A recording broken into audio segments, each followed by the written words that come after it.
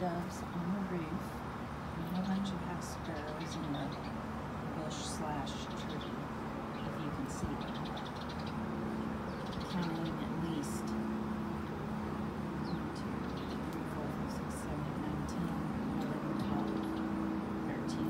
at least 15.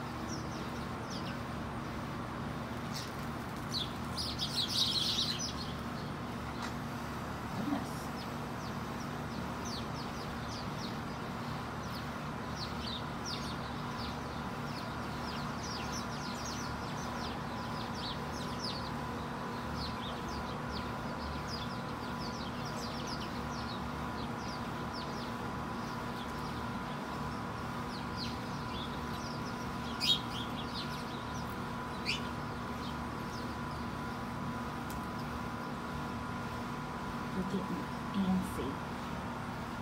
We're getting closer.